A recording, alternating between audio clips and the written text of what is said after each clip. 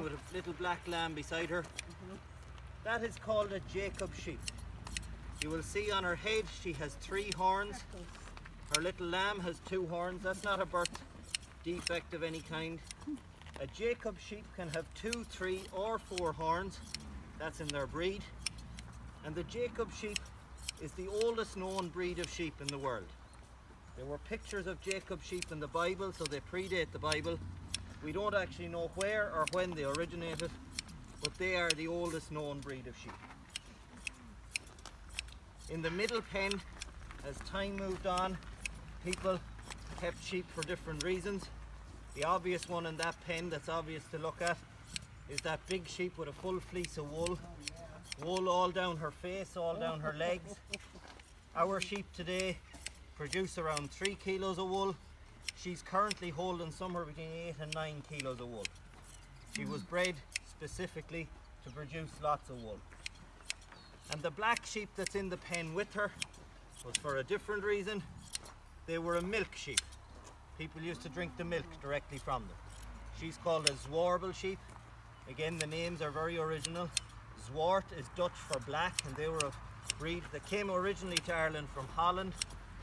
They're called Zwarbles or Zwartbles, and they were a milk sheep. And then the little brown sheep that are closest to you. There are three adults in that pen with the little bits of wool left on them. One lamb from last year and three little lambs from this year. They are called little Soay sheep, S-O-A-Y, and they came from a little island off the coast of Scotland, again very originally, called Soay Island. Soay Island had no green fields or mountains like we have here. It was all steep cliffs. So they bred those little sheep that could climb up and down the cliffs and their main diet was the seaweed around the coast of the island. They couldn't keep any bigger breeds of sheep or cattle. They couldn't climb up and down those cliffs. So they, those little brown sheep were the main food source for the people on that island. They were the only thing that could survive and live on the cliffs. Today, there are no people on Soay Island.